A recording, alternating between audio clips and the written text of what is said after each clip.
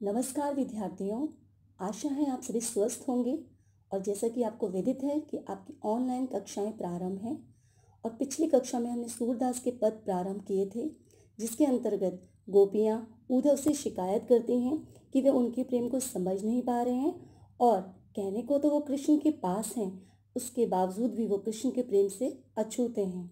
तो चलिए, अब हम दूसरा पद प्रारंभ करते हैं। मन की मन ही मांझ रही कहिए जाई कौन पे ओधो ना ही परत कही। मांझ, जिसका अर्थ होता है मध्य या बीच में तो प्रस्तुत पंक्तियों में गोपियाँ कहती हैं कि हे उद्धव हमारे मन की अभिलाषाएँ हमारे मन में ही रह गई, अर्थात हमारे मन की बातें हमारे मन में ही दबकर रह गई।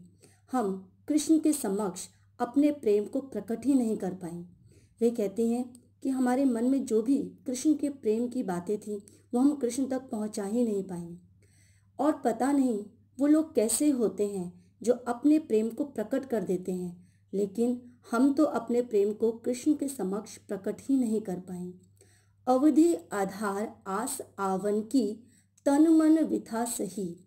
अवधि जिसका मतलब होता है समय, आधार जिसका मतलब है आधार, आवन यानी आगमन। विथा विथा मतलब होता है व्यथा।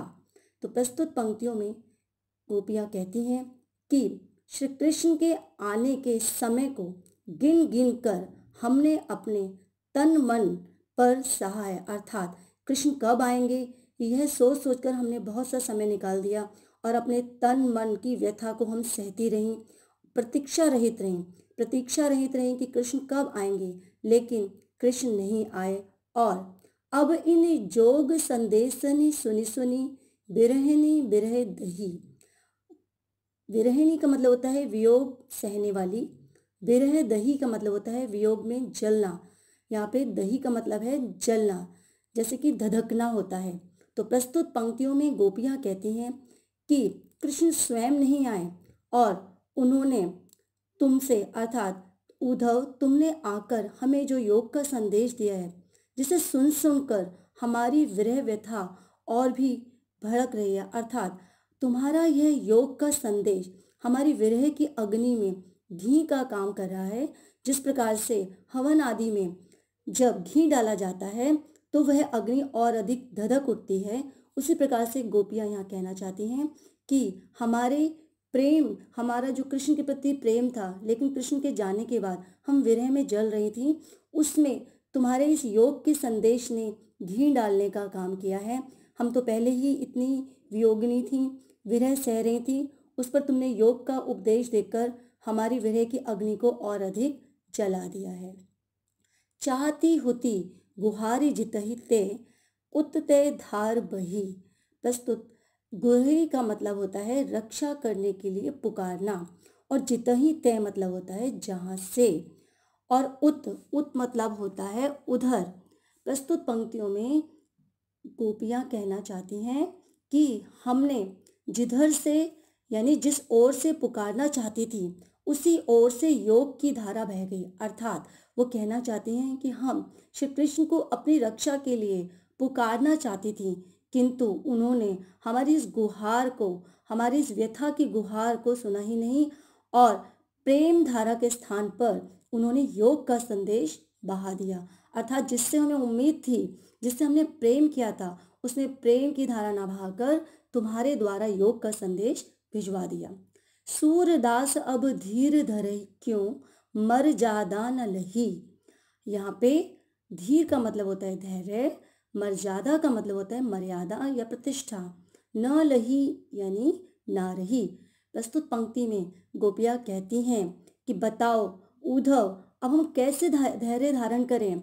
अब हमारी कोई मर्यादा शेष नहीं रह गई है। अर्थात वो ये कहना चाहती हैं कि जिस श्री कृष्ण के प्रति हमें प्रेम था, उन्होंने ही मर्यादा का पालन नहीं किया है तो अब हम धैर्य धारण क्यों करें?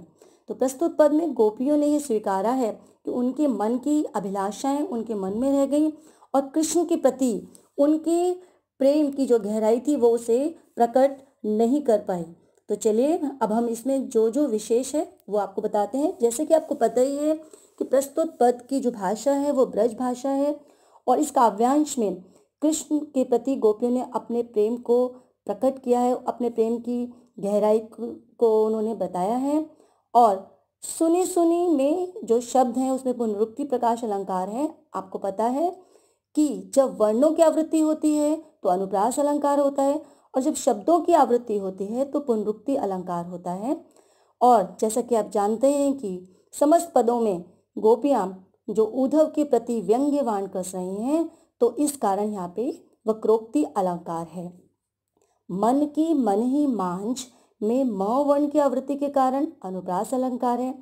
अवधि आधार आस आवन में अवर्ण की आवृत्ति के कारण अनुप्रास अलंकार है। विरहिणी विरह में व वर्ण की आवृत्ति के कारण अनुप्रास अलंकार है। धीर दरही में ध वर्ण की आवृत्ति के कारण अनुप्रास अलंकार है और प्रस्तुत पद की भाषा, ब्रज भाषा जैसा कि आपको बताया ही गया है और गोपियाँ उद्धव को संबोधित कर रही हैं, जिसके कारण यहाँ पे संबोधनात्मक शैली है। और पूरे पद में वियोग, श्रृंगार, रस है। अभी आपको रस पढ़ाए नहीं गए हैं, लेकिन जहाँ पे भी विरह की बात होती है, बिच्छोह की बात होती है, वहाँ पे वियोग, श्रृंगार, रस होता है। अब इसके पश्चात आपको कुछ रचनात्मक कार्य दिया जाएगा, जिसमें कुछ प्रश्न होंगे पद से संबंधित, जिसे आप अपनी सुविधा अनुसार किसी भी प्रकार, किसी भी पृष्ठ पर कर लीजिएगा। धन्यवाद।